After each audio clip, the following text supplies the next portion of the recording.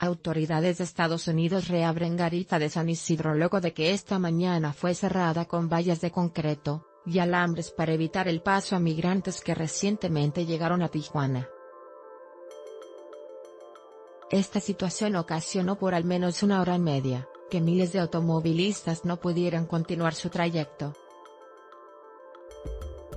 Te puede interesar, caravana migrante será reubicada en la casa del peregrino fueron cerca de 300 militares estadounidenses armados quienes estaban desplegados a lo largo de la garita. Luego de casi dos horas de este cierre, elementos de la Policía Federal llegaron al lugar solo para agilizar el tránsito.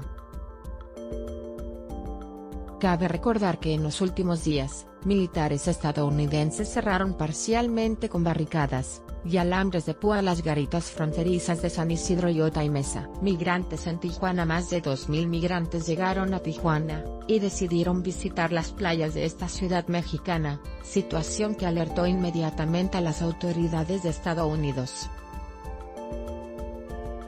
De igual manera, militares se colocaron a lo largo de la frontera con nuestro país para evitar que alguna persona pudiera cruzar. ¿Te puede interesar? Patrick preguntaba mucho, creyeron que era de la DEA, y lo mataron los integrantes de las diversas caravanas que salieron de países centroamericanos en busca del sueño americano en donde Estados Unidos, encabezado por Donald Trump les otorgue asilo o el estatus de refugiados, y de esta manera consigan liberarse de la violencia y pobreza que acecha a su nación. Trump califica a migrantes como criminales Trump calificó a los migrantes de criminales, y acusó a la caravana de impulsar una invasión.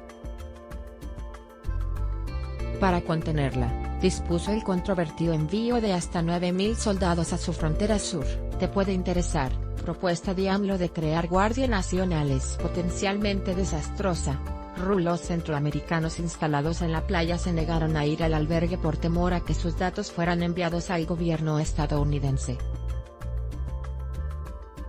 Sabemos que Donald Trump está pidiendo los datos biométricos para poder hacer un decreto donde va a declarar a todos como terroristas. Definitivamente hay miedo y desconfianza Irineo Mujica, director de la ONG Pueblos Sin Fronteras la noche del miércoles, unos 300 residentes de Tijuana protestaron contra la caravana, cantando a todo pulmón el himno nacional mexicano, y lanzando piedras contra los migrantes ante la mirada de policías, con información de AFP.